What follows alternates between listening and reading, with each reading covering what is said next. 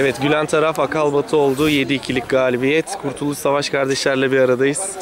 Tebrik ediyoruz. Bir üst tura çıktınız bu galibiyet. Lazımdı size. Zor oldu. Aslında bu işi geçen hafta bitirmemiz gerekiyordu.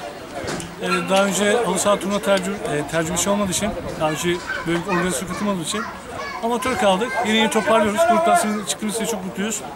Bundan sonraki maçtaki arkadaşlar başarılar deyip Tebrik, maç oldu. tebrik Sağ ederiz. Evet hocam. İyi takımız. Çocuklar iyi, hepimiz iyiyiz. Dediğimiz gibi bu maçlarda tecrübemiz biraz az. Tecrübe edindikçe farklı galibiyetler alıyoruz.